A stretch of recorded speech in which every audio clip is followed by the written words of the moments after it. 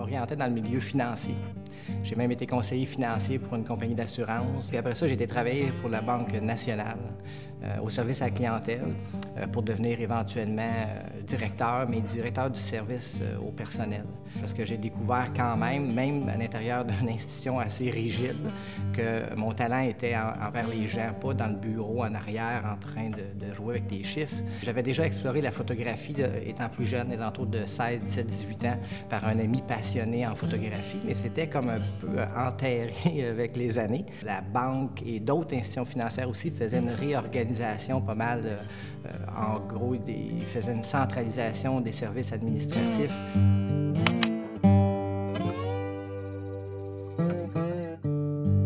Ça a fait en sorte que j'avais eu des heures coupées. J'avais pas mal de temps libre. Puis j'ai eu euh, la chance de croiser quelqu'un qui m'a informé que la députée du coin euh, du secteur cherchait un photographe. Bon, ça m'a tenté. Une... C'est vraiment tête baissée parce que, franchement, euh, je suis pas photographe, là, mais j'aimais la photographie. Je me suis dit, moi, on va essayer. je m'en vais la rencontrer. Puis je pense que j'ai fait un offre qu'elle pouvait pas refuser. Ça devait vraiment être pas cher. Fait qu'elle m'a pris comme photographe. J'ai pris mon petit boîtier, j'avais pas de flash, j'ai été m'acheter un petit peu de matériel de même, puis c'était même pas du bon matériel que j'avais acheté. Puis j'ai commencé à couvrir un petit peu ces événements parce qu'en même temps, je me retrouvais dans des, euh, moments quand même assez euh, médiatisés aussi. Il y avait d'autres photographes, des caméras, puis là, j'ai commencé à aimer ce, tourbillon d'énergie et d'activité que, que je vivais pas à la banque, qui était un petit peu trop terre à terre, sais. Euh, puis j'ai remarqué qu'il y avait peut-être d'autres choses qui m'intéressaient dans la vie finalement, mais j'ai pogné la piqûre. Puis euh, c'est ça qui a fait pas mal de, le tournant.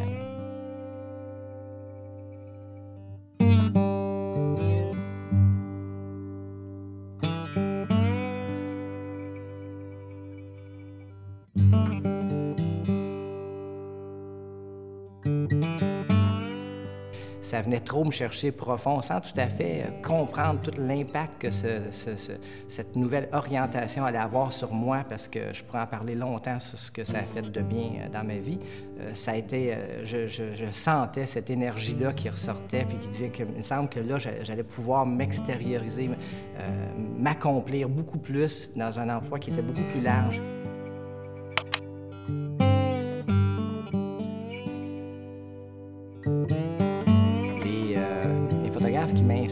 Plus, c'est surtout des photographes qui font des, euh, une approche photographique euh, plus de type rue ou euh, reportage journalistique, Douaneau, Cartier-Bresson.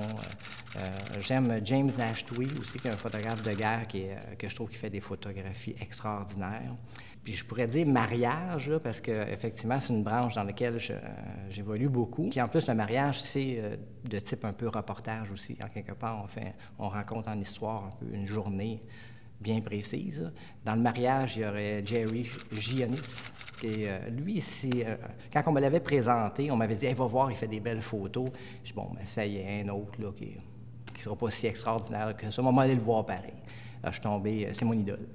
S'il y en a un, là, je dirais, dans toute la gang, j'ai trouvé la manière qu'il travaille, la manière qui, qui évolue, dans, euh, qui improvise dans n'importe quelle situation. C'est quand on dit un photographe d'événement, euh, on travaille dans des conditions difficiles, mais lui, il patauge là-dedans comme un petit poisson dans l'eau je fais pas énormément de photos pour moi. Euh, alors, les photos servent à d'autres personnes, donc à des clients, euh, autant au niveau personnel que plus commercial ou corporatif ou euh, journalistique. Ce que le, bienfait que j'en retire, c'est surtout, bien entendu, les commentaires que les gens me donnent. C'est le fun d'avoir un retour comme ça sur ce que tu fais, puis c'est ma paye, en quelque part. Dans mon matériel, au niveau de l'optique, euh, s'il y en a une que j'aime plus que les autres, c'est le grand angle. N'importe quel photographe de reportage va dire Ah, ben c'est sûr, effectivement, c'est l'objectif la, plus cool en photographie de reportage parce que tu es proche des gens. Puis le grand angle te permet de montrer le sujet euh, de manière euh, originale et en plus d'avoir beaucoup d'environnement, de compter une histoire, comme je disais. Donc c'est l'objectif qui me permet le plus de m'exprimer. J'aime que les photos raconte la, vie. Euh, en quelque part, mais d'une manière peut-être plus personnelle. Chaque photographe, on doit se démarquer un petit peu par un style. Euh, donc, j'aime raconter ce qui se passe dans un événement de manière photo, mais aussi avec un style particulier. La vision personnelle en photographie, euh, je crois que ça se démarque avec plusieurs années. L'expérience du photojournalisme euh, apporte, en tout cas pour ma part, je vais parler pour ce genre-là, euh, mais apporte beaucoup de choses. Premièrement, c'était justement dans des conditions difficiles, donc il faut être capable de réagir rapidement et à bien maîtriser ta technique. Et le côté humain, euh, ça, c'est l'autre aspect que ça apporte beaucoup parce que ça te demande d'être habile au niveau social. Il faut que tu bouges, il faut que tu, tu changes d'angle, de position. Selon l'angle que tu as pris, euh, tu choisis d'intégrer ou d'exclure des trucs dans ton cadre qui vont euh, influencer ou diriger la lecture différemment. Alors, c'est là-dessus que j'ai travaillé beaucoup. Puis après ça, bien, ça a été, avec le temps, euh, je pense que la seule carte que j'ai jouée beaucoup, c'est mes habiletés sociales. Donc, euh, j'ai une facilité à, me faire accepter, à me faire euh, passer par des endroits que peut-être d'autres n'auront pas la chance d'aller. Dans du reportage, tout est différent, jamais rien pareil. C'est sûr qu'avant d'arriver sur le terrain, Bien, il y a un petit stress qui, euh, qui, est présent parce que tu dis, je vais être à la hauteur, je vais être capable euh, de faire aussi bien que la dernière fois? Parce que c'est hors de notre contrôle, on ne sait pas ce qui nous attend. On me reconnaît plus comme un photographe de mariage, ben c'est par la force des choses uniquement, étant donné que je suis rendu enseignant, euh, je suis moins disponible sur le marché. Je ne peux pas dire que c'était le genre photographique que j'aimais le plus. C'est un milieu très traditionnel et conservateur. Fait que là, je commençais à faire mon tournant artistique. Puis là, je voulais appliquer ça dans mes mariages. Puis les clients ne voulaient pas savoir ça. Mais là, les jeunes qui veulent se marier dans les dernières années, eux ont vu la même chose que moi. Eux ont été sur Internet, ont vu des photos faites par d'autres photographes à travers le monde. Et là, ils sont prêts à avoir ça. Fait que là, là je suis reparti de belle. Je suis plus quelqu'un qui dirige.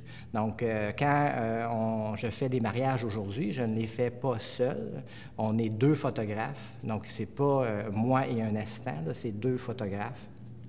Et l'autre photographe s'occupe plus des photos de type reportage, même si euh, je serais certainement capable de me débrouiller avec cette approche-là aussi, sauf que j'ai une force que pas beaucoup d'autres ont, c'est la facilité d'être avec les gens, de créer des atmosphères. Donc, quand je suis avec les mariés, je les fais rire, euh, je les fais s'amuser. Et pendant ce temps-là, l'autre, il fait des photos avec ces expressions-là hyper naturelles. Donc, dans le fond, l'expression vient peut-être de mon travail, mais moi, je faisais pas de photos à ce moment-là. Et là, je les amène dans un lieu, je les place, euh, je, là, je fais de la direction. Et là, je fais ma photo à moi, mais lui, l'autre, il évolue pendant ce temps-là.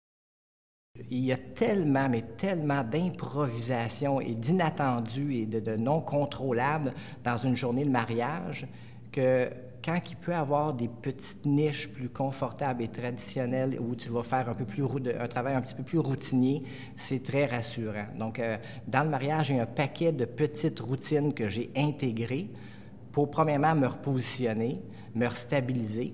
Le mariage, ça peut être 14 heures. Euh, que de l'improvisation, ce serait bien trop dur euh, physiquement, émotionnellement, etc. Donc là, je me rabats sur certaines routines, comme les photos de famille. Je fais presque toujours la même routine, mais ce pas les mêmes personnes, c'est pas dans le même décor. Ils agiront pas de la même manière. Ça va être quand même, malgré tout, des photos différentes du mariage d'avant, mais je garde certains, euh, certaines habitudes de travail que je, fais, euh, que je refais une fois, une deuxième, une troisième, continuellement. Puis le reste, ben, improvise à travers tout ça.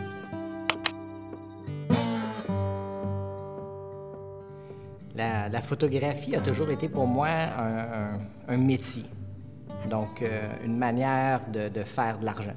Faire de la photographie ou faire euh, de la mécanique, euh, peu importe, l'important c'est de faire ce qu'on aime et de gagner sa vie en même temps. Mais dans les dernières années, je dirais que ça a changé et ça a pris une orientation plus personnelle une orientation plus, euh, je dirais, euh, émotionnelle, la photographie. C'est plus juste un, moyen de travailler, de ramener de l'argent, c'est aussi un moyen de s'exprimer, euh, de s'extérioriser, que ces images-là me représentent plus. Alors, si ces images-là me représentent plus, ben j'aurais le goût également que ces images-là soient plus vues mais de pas juste par mon client, mais de par un plus grand public. Et euh, donc, le désir d'être reconnu peut-être un petit peu commence à se faire sentir. Puis euh, maintenant, je, peux m'appeler un artiste. Avant, je me prenais plus comme un exécutant en photographie, mais là, je peux m'appeler un artiste.